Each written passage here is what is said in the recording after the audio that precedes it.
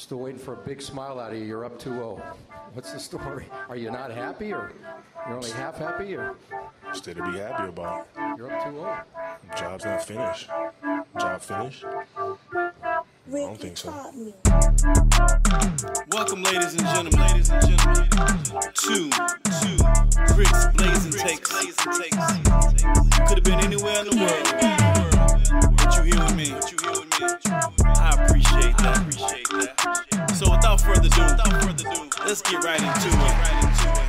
Yes, sir.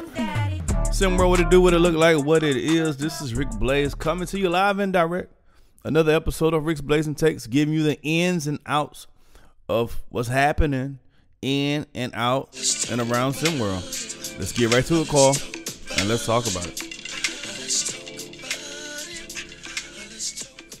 All right, I would be remiss if I didn't talk about the NFL. Uh, you know, NFL is like a, a year long situation, right? So the free agent signings, and I will say that my Texans was looking like they would sleep at the wheel day one.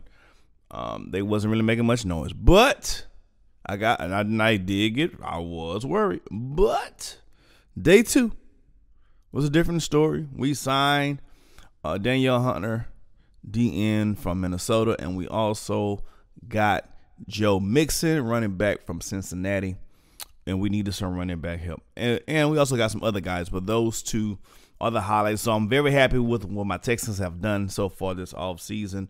They look like they're ready to compete, and if nothing else, we're gonna always whoop the Jacksonville Jaguars ass because we own them. X Marsh, he will tell you we own the Jacksonville Jaguars. So as long as that's always true, everything's good with me. But I do wish Trevor Lawrence a very great season this upcoming season. I just drafted him on my dynasty team as one of my quarterbacks. So I hope he plays well. I hope the rest of the team um, does what they normally do. All right. So free uh, now, if you're a Ravens fan, I know you you you're really stoked right now, right? Derrick Henry, Lamar Jackson. But I have one little caveat, Ravens fans. One little caveat. The history of the Ravens running back within the last four or five years have all have this in common. They don't finish a season. They stay hurt. I don't know what's going on with the training staff for the Baltimore Ravens, but they should have been fired years ago. Bro, that's the only team that goes to four, five, six running backs in a single season.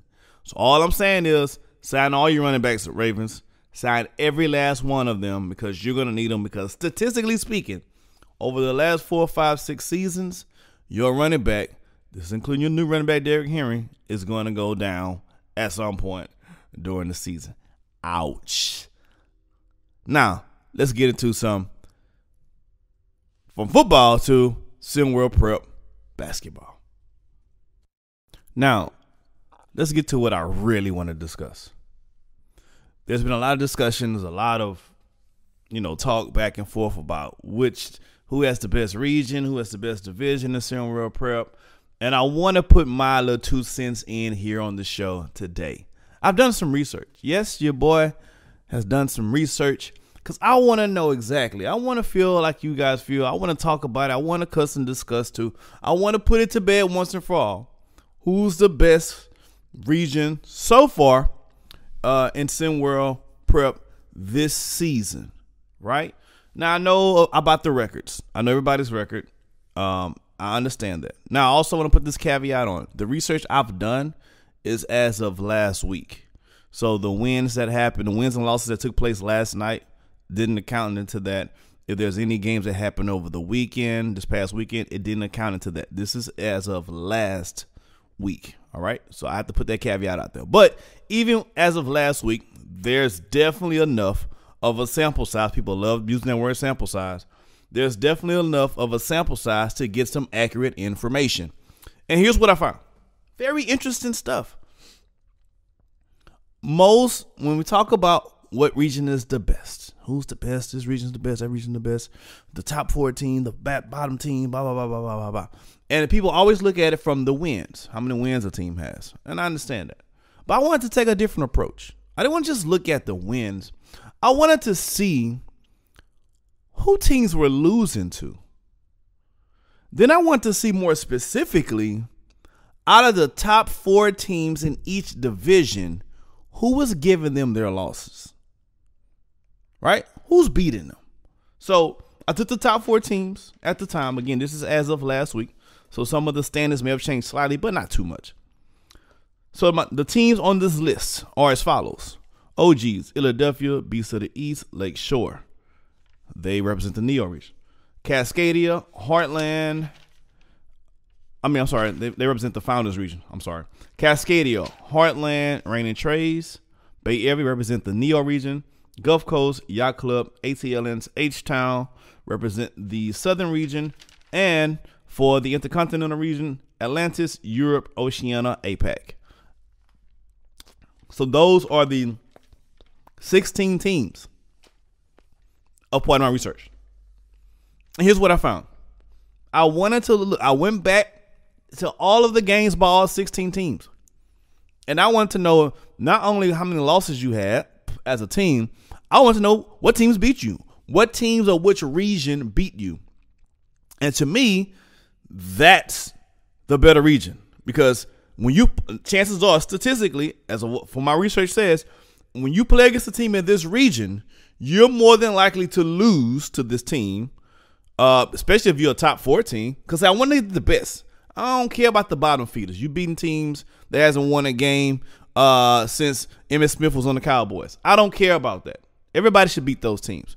I want to know if these supposedly the best teams in each division, who are the best teams of each division losing to? Here's what research has told me. The number one team, based on research, the number one team based on research, the number one team who's beaten all of the top four teams in each division the most time spread across the entire season, which means number one, it has to be considered the number one team, the number one region, is the Neo region. They've beat 20 out of the out of all 16 teams, top four, top top four in each division. Four times four is 16. 26 of those losses has come from a team from the Neo region. Now, it's interesting, interesting information. Out of those 26 uh, wins the Neo region has garnered, they've only beaten the top four international teams one time. That's interesting stuff. They've only beat them one time, and that was the Reigning Trays beating Oceania. Other than that, no team in the Neo region has beat any of these intercontinental teams. That is crazy to think about. As of last week, again, I have to put the caveat as of last week. But the Neo region beats up on everybody else. They have 26 wins against the top four teams um, in each division. So Neo region is first place. Guess who's second? Y'all guess guess it? Can y'all guess who came in second as the second toughest region based on my information? It was actually a tie between the intercontinental region, yes, I know, and the southern region. They both have 25 wins against the top four teams of each division. Intercontinental has beat teams 20. These teams have lost to the intercontinental teams 25 times, and these teams have lost to the, the southern region 25 times. I didn't do a tiebreaker, so who's going to be second, who's going to be third? We're going to just say they both tie for second. I, I didn't. I didn't. I looked and see. Okay, which one of those teams beat? Uh, well, you know what? No, I'm not gonna do that. I'm not gonna do that. I'm not gonna break the tie. I'm just gonna leave it as tie. It's tie for second. Guess who's in third? You guessed it. The Founders region with 23. The Founders region have only beat has ha, not only has beaten 23 of the top four teams in each division. The least amount the least amount out of all of the top four. Again, I didn't do all the teams. I didn't do all my last place team. I'm not. I'm not adding those folks. These are the top four teams in each division. Out of the top four teams in each division, the Founders region has won, has beaten those teams the least out of all the other teams, out of all the other regions.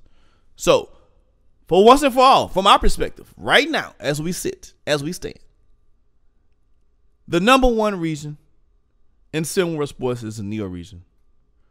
The number two region in Sim World Sports is Intercontinental or Southern. I'm sure you're going to take your pick depending on what side you're on because it's a tie.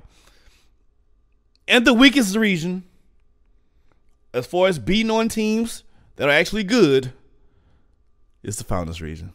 Oh, we got a lot of cussing and discussing to do. Somebody check my mouth. I'll see y'all later.